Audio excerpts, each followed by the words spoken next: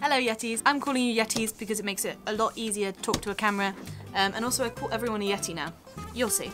When we think of fretwork, we think of delicate, interlaced, intricate designs carved out of medium to thin depth wood, normally showcased somewhere where perhaps light can shine through their delicate pockets and cast beautiful shadows, such as like a lampshade or maybe a like a partition. For this project, the job of designing went to Ed Sells, our favourite engineer. He designed it on CAD Fusion 360, and he designed a panel to slap on the wall under his stairs.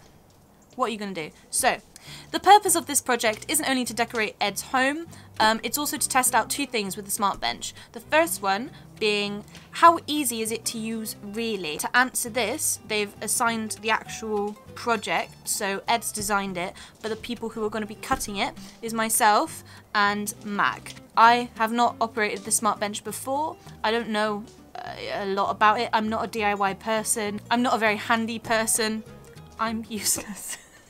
And I'm nervous about it because obviously it's a very fast spinning router head and uh, so it's me, um, but I'm not alone. I'm also with Mac, who's our head of sales, who also obviously by his title isn't an engineer at the end of the day, isn't a handyman. He's handy, but the second thing we wanted to test is how well can SmartBench process a design of a larger scale that's more complicated. So we've already tested out its large format capability when we designed a bespoke workstation for Ian's brother Graham. If you are interested in seeing that project, there will be a blog posted on our website and I'll, I'll link that below. So it's already proven itself to very easily uh, cope with a very large sheet. However, the processing of straight lines, which was that was pretty much the workstation, pretty straightforward for a smart bench. It's pretty straightforward for anybody, let's be honest. So the challenge in this is obviously this fretwork, it has a lot of round holes, round pockets, and that might prove a challenge. So that's something we need to test out now. Let's see how we got on.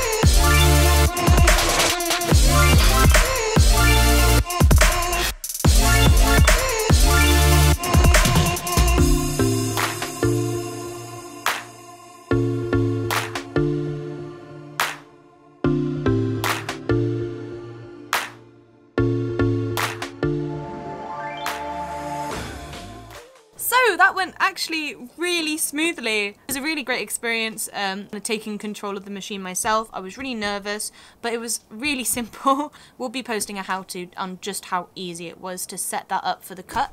In all honesty, I'm taking a lot of credit. At the end of the day, Ed made the file, gave me the file, we plugged it in, and pressed go. It's almost as simple as that. So the next step uh, was obviously painting the component and decorating it nicely for Ed's house. So the job of deciding how we're going to paint it went to Ian. Um, Ian is the inventor of SmartBench um, and is also obviously a Yeti. Ian heard of a guy called Jackson Pollock. Very, very experimental, these Yetis. So to paint, I enlisted the help of our newest Yeti, Jarvis. I don't have a picture of him yet, but I'm sure I will um, in the very near future. So we met up on like the last sunny day of October, and this is how it went.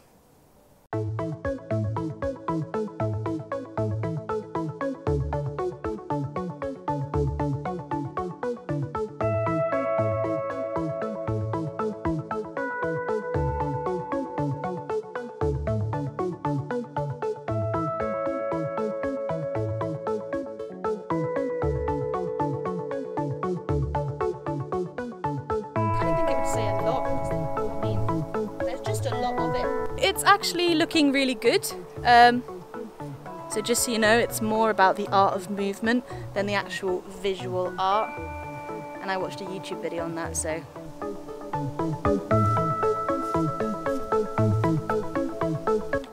As you can see, our artist here is a trained dancer.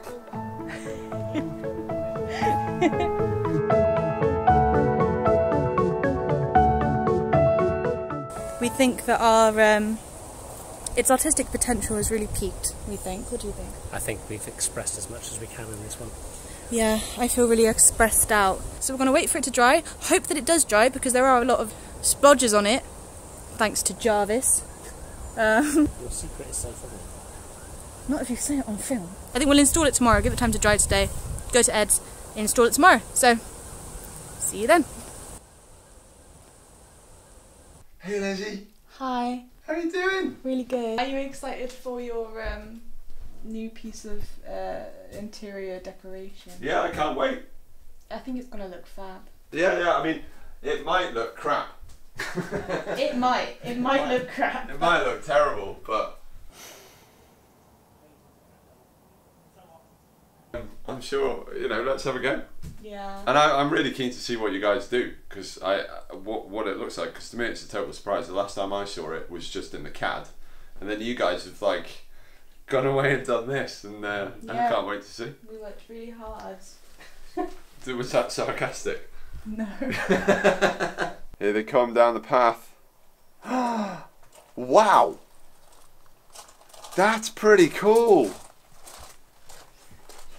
Yeah, that's pretty cool. I think that's going to work. yeah, you do. I, I do, but there's a tragic element to this. I think we're aware. You've done it the wrong side. I'm sorry. But I love it. I think this it looks really, really great. But as in in the design, it's supposed to be a perfect fit. And once you look at that, it absolutely is.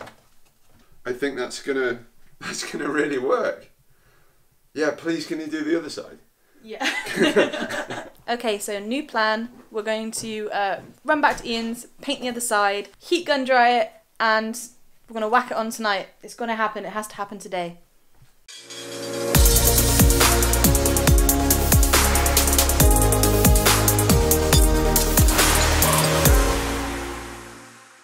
Okay, let's go see how Jarvis is getting on. That's still with us. We have uh, the Bocelli family. It looks really good. Proper forgery, I expect it to be accurate. It's not a proper forgery. We're not selling this at an auction. We're giving it to Ed. Wait, so all that's left now is for. Um, did you keep the paper on there? Yeah, you need to fill a couple of tins. Okay, you said it was a secret, and you've done nothing but talk about it. I think it looks fab. I honestly think, I think it looks better. Do? Yeah, I think I definitely. Well, we know I messed it up, so that's absolutely perfect. And you're my favourite person. Go to the toilet now. You absolutely can go to the toilet, and you can have a banana if you like.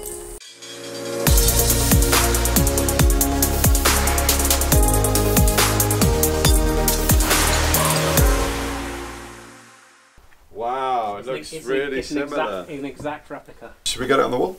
Yeah, I don't know how you want to attach it, but it, Okay. Here we go.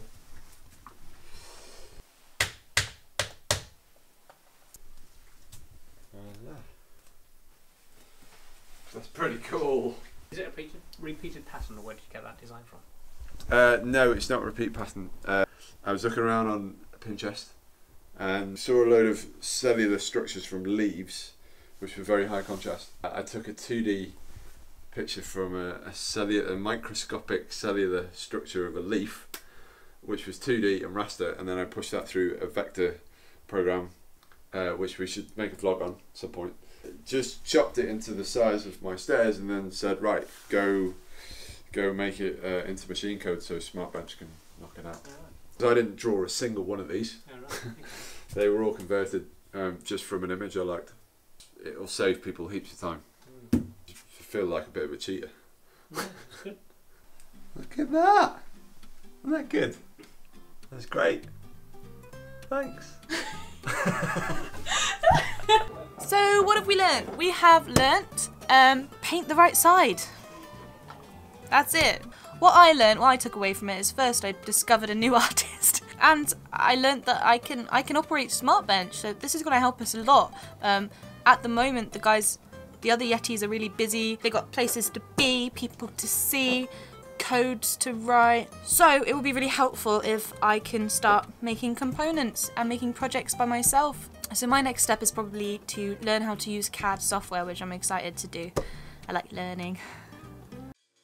Thank you very much for watching. We are a small company at the moment with a, a cool idea, a cool machine and we are just trying to get it out there. If you want to help us grow then please subscribe and follow us on our journey. Like this video if you did and I will see you next time.